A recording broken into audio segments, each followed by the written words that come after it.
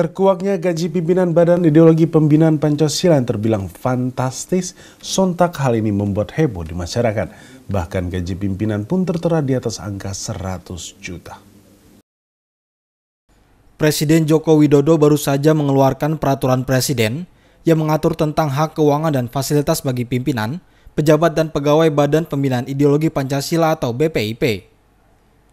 Dalam Perpres nomor 42 tahun 2018, tertulis bahwa Ketua Dewan Pengarah BPIP yakni Megawati Soekarno Putri memperoleh gaji Rp112.548.000. Anggota Dewan Pengarah BPIP mendapat gaji sebesar Rp100.811.000 dan hal ini sontak mengejutkan masyarakat dengan gaji yang begitu fenomenal. krusial ketika muncul nominal angka yang besarannya sudah cukup fantastis.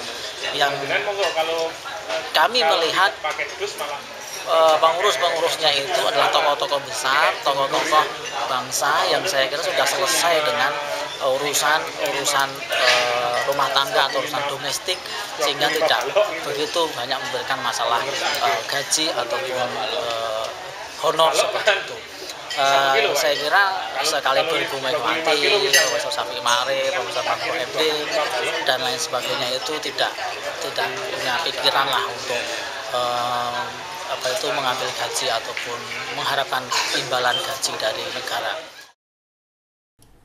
Anggota Dewan Pengarah BPIP antara lain Said Akil Siroj, Trisutrisno, Ma'ruf Amin, Ahmad Syafi'i Marif, Mahfud MD, Sudamek, Andreas Anangguru Yewangu, dan Wisnu Bawatenaya. Selain itu Yudi Latif menjabat sebagai Kepala BPIP. El Mariana Asul Sabtono memberitakan dari Yogyakarta.